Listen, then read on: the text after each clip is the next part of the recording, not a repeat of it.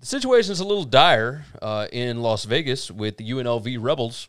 Marcus Arroyo, uh, that is a team that you can certainly bet against. Yeah. Uh, that guy had Justin Herbert as his starting quarterback and didn't know what to do with him when he was offensive coordinator at Oregon. And here he is at UNLV, um, still looking for his first win as head coach, uh, even though he's in his second year. They went 0 6 last year.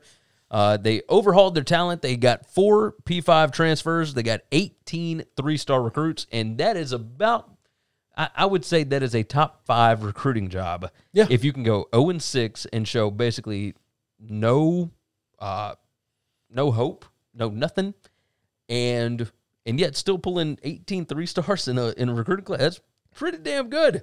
Uh, the offensive line has to replace three starters. The running backs are super talented. Uh, you need a quarterback to be able to throw it consistently. Uh, they did not have that last year, uh, but both of their quarterbacks can run, so you know that helps out with his offense. Defense gave up 34 plus in all six games in 2020. Um, I don't see that getting better. at at least there's experience this year. Yeah, I don't know. Yes, I I, I think I think if you're hurting, if you have an offense that's struggling, you play UNLV, and Yeah. it'll it'll it'll it's just a salve that heals all your wounds. The win total is one and a half. Uh, to go over minus 155. All right. So they think it's more likely that they get to two.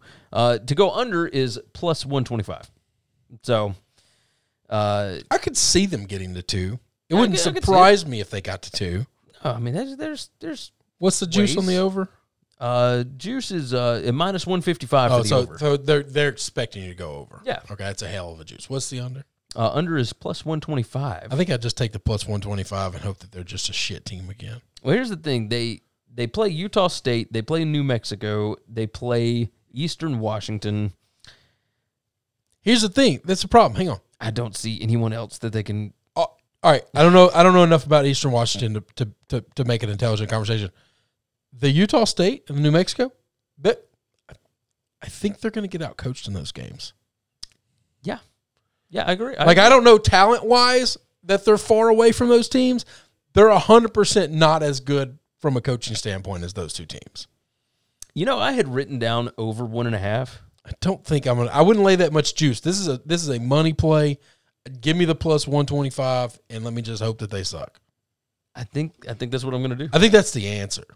If you Yeah. told me you're willing to lay a dollar and a half to win a dollar on this shit team, be my guest.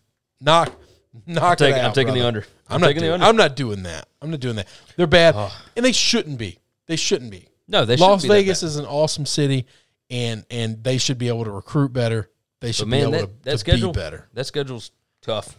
Well, Tough. yeah, no, it's tough. No, That is the way it goes. They're they're non-con by the way at Arizona State, Iowa State, uh, and at UTSA. who you got? Who In you Eastern Washington, they could absolutely lose to Eastern Washington. Other than, I don't know playoffs. I don't know enough about Eastern Washington, to, but I do know they were in the playoffs.